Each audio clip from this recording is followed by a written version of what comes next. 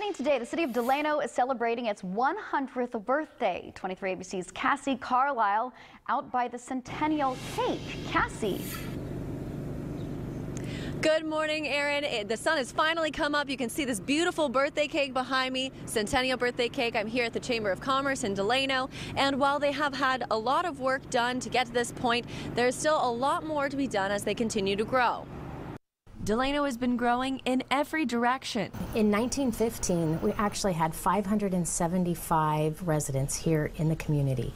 Today, we have over 50,000 people. The city also saw some major retailers come in. We've welcomed Walmart um, and various other stores um, out at the marketplace, and we hope to see another phase coming through very soon. With no signs of slowing down, authorities are keeping up with the expanding population. They just opened a much larger police department. This is one of the, the other interview rooms that we have for children.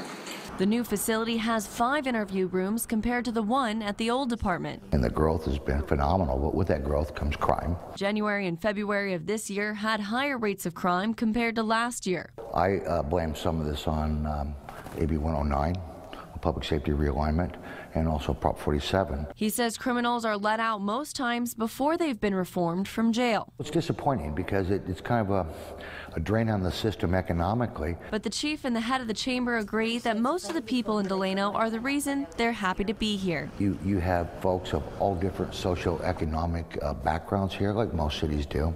But unlike other cities, everybody comes together for the common good of the, the community. There will be festivities, including a party at Cecil Avenue Park. It starts at 4 p.m. and will offer free hot dogs, cake, and games to anyone who wants to come. There will also be a pancake breakfast and parade later. Now, unfortunately, this cake isn't the one that will be getting cut later today, but there will be a cake cutting ceremony. It's going to be a lot of fun, and I'm going to send it back to you guys.